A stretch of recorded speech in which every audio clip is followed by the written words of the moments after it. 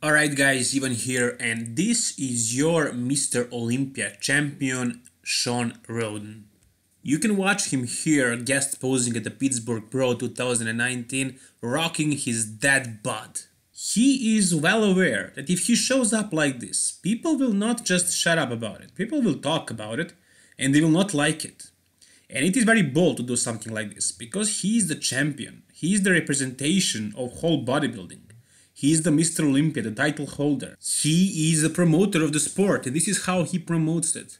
He basically proved us that bodybuilders are fat in the off season and then don't look nearly as impressive as they do when they are ready for the stage. Although that's not the case with most competitors, you can check my previous video, you will see other guys who did their guest posing at the same show and they all looked shredded.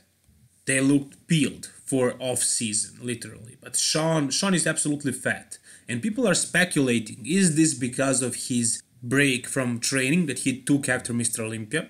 Maybe he is off the gear, but I don't think he's off the stuff. He looks big, he has a lot of muscle, and these guys they are not that big as much as you may think because they are known because they can get shredded and they have enough muscle on good places. They have that, that kind of genetics when you see other athletes or other people standing next to bodybuilders when they are in clothes, they usually look small because they are very short and they're not as big as you may think, most of them. But when they get lean, when they show all the details and separations, and they have that 3D popping look like most of them at the Mr. Olympia have, they look much more impressive than they are in real life.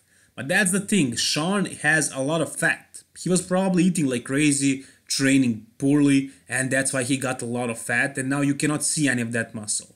So I don't think that he's off the stuff. I don't think he's really stopped training. He was probably training occasionally and not too seriously, and he was probably using a certain amount of stuff, probably wasn't blasting it like crazy. And this is what happens when you do that. And I hope that he will get things together by the time September comes I believe that he will, and I believe that he will bring the best shape on that stage. I believe that's pretty reasonable. But it is weird that he started training only recently. I don't know what his plans are, but he is not a Mr. Olympia for no reason. He knows his game.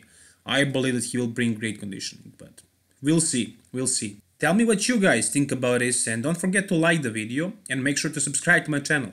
All the best, guys. Bye bye.